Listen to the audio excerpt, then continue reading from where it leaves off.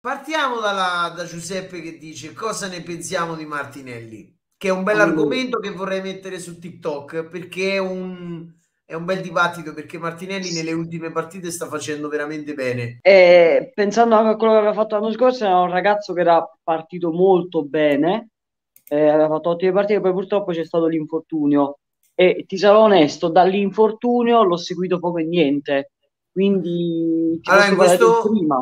Eh, in questo momento lui porta, per farti vedere le statistiche, porta 11 partite, una ammonizione, 4 reti, 2 assist, vive un periodo di forma veramente, veramente importante perché ha segnato, ha fatto assist nelle ultime partite, quindi si sta parlando molto di questo Martinelli. Io parto dal presupposto che a me Martinelli, ve lo dico con il cuore in mano, non mi è mai piaciuto.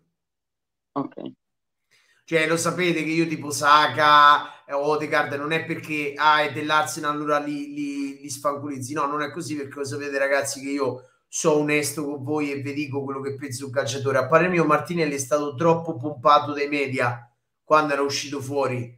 Troppo pompato a parer mio. È, un, è forte, cioè è un buon calciatore, ma non è un calciatore che tutti si aspettavano in Inghilterra, perché veramente in Inghilterra quando era uscito fuori si parlava di veramente un fenomeno incredibile anche per colpa della sua nazionalità, che basta che è brasiliano e ci mettono sopra una marea di etichette, il nuovo Poi, Neymar. Mezzo italiano, mezzo, mezzo brasiliano. Sì, è italo-brasiliano lui, sì.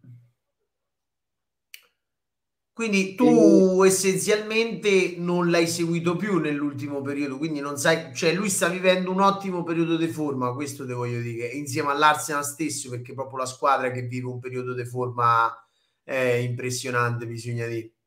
No, allora io eh, cioè, la, la, Premier la seguo un po' tutta, però a livello tipo di Arsenal eh, nell'ultimo periodo l'ho smesso di seguire, che è il periodo che sta giocando bene e tutto quanto, quindi non so di cosa parlarti ti posso, come ti stavo dicendo, l'ho seguito molto di più l'anno scorso quando diciamo stava esplodendo, si può dire.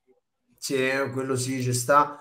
Dell'Arsenal in generale, poi andiamo a sbattere sull'argomento che diciamo noi. Dell'Arsenal in generale, ragazzi, che bisogna dire, l'Arsenal eh, sta in un periodo di forma che è qualcosa di eccezionale, vince partite su partite, non si ferma mai. L'Arsenal in questo momento in classifica è se non sbaglio quarta, però con questo casino di stop e roba varia non si capisce niente. L'Arsenal in questo momento è quarta. Faccio vedere la classifica? Sì, sì, sì, vai.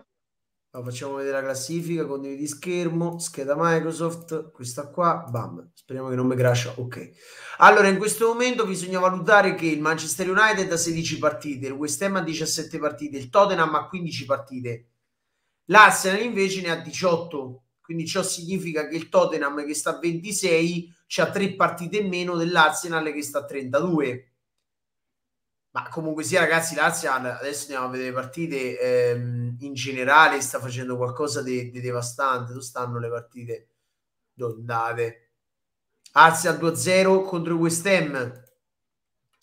Poi ha rigiocato se non erro sabato non domenica ha vinto 3-0 contro il Southampton poi possiamo andare a prendere la partita quella di eh, lunedì, vabbè ha perso con l'Everton, poi aveva perso con noi, però vive un periodo di forma ragazzi, l'Arsenal è veramente devastante, quello che dicevo io tanto tempo fa, ad Arteta bisogna dargli tempo, la stessa cosa che io dissi quando c'era Spirito Santo a Tottenham, che non gli è stato dato il tempo, ma ormai allora, si sa il calcio com'è. A inizio anno quando... Buon compleanno Carmelo, scusa che ha detto che ha compiuto gli anni. Sì, sì, sì. Eh, a inizio anno quando ho iniziato a fare live su TikTok con Isu, ricordo questa cosa con Isu e Antonio, e essendo tu sai che sono molto fan di, di Pep, eccetera, eccetera, e quindi però essendo che Arteta era il suo secondo, lo, lo, lo conoscevo, lo seguivo, eccetera, eccetera, e avevo detto che secondo me bisognava dare tempo a questo allenatore perché comunque lui, se ti ricordi come è iniziato, ha iniziato vincendo due coppe o una sì. con l'Arsenal e, e, comunque questo calo ci poteva stare. E adesso, adesso iniziano tutti quanti a parlarne bene, però io ricordo che a inizio anno era tutti arted out, tutti, sia cioè, io italiani che inglesi tifo- io ero l'unico, te posso dire che da tifoso lo United ero uno dei pochi che difendeva ancora Arteta, ma non lo difendevo perché dici oh, ah cazzo lo difendi perché almeno continua a fare questi risultati di merda. No, perché un tifoso di una squadra rivale storica come l'Arsenal, che io l'ho sempre detto, l'Arsenal per me è la rivale che eh, se è una delle squadre che sento di più la rivalità, ma è la squadra con cui io la rivalità la amo. Cioè non è come col City o con Liverpool, la rivalità che ho con l'Arsenal è una rivalità sportiva proprio.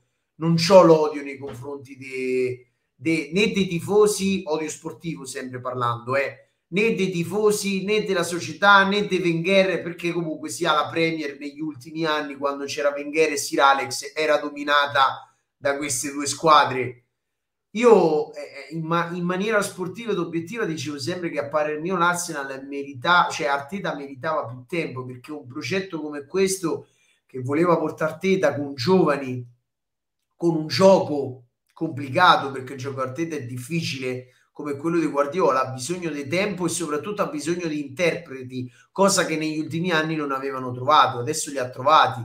Tomiasu, eh, Saka che eh, sta facendo l'upgrade definitivo, Martinelli che ha una continuità quest'anno. L'unica pecca di quest'Arsenal è la punta che doveva essere Aubameyang al centro del gioco di Arteta, invece Aubameyang è un giocatore che piano piano sta uscendo fuori da questo progetto, ma credo che i tifosi dell'Arsenal sbatte, cioè, gli frega niente, l'importante è che gli funziona la squadra. Quindi al momento io l'Arsenal la vedo inferiore al Liverpool, la vedo inferiore al City, la vedo inferiore al Chelsea, la vedo inferiore al Manchester United, è stata piena dimostrazione contro di noi, eh, che ha dei difetti importanti l'Arsenal, non si può lottare un posto tra le prime due, ma può dar fastidio. Può dar fastidio perché questa squadra fa tanti punti con le piccole, ne fa pochi con le grandi, perché ha perso con il col City, ha perso con lo United, ha perso con l'Everton, ehm, ha perso dei punti importanti con Liverpool, ha perso punti importanti contro le big, ma questa squadra fa tanti punti con le piccole adesso, tanti.